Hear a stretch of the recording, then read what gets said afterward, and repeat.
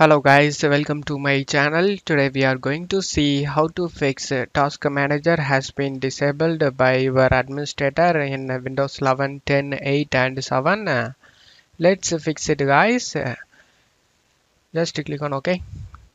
And you just need to go to search menu and type registry editor. Click on open it.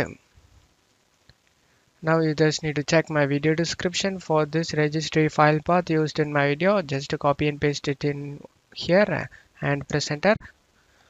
On left side make sure to select a system. On right side disable task mgr double click on it.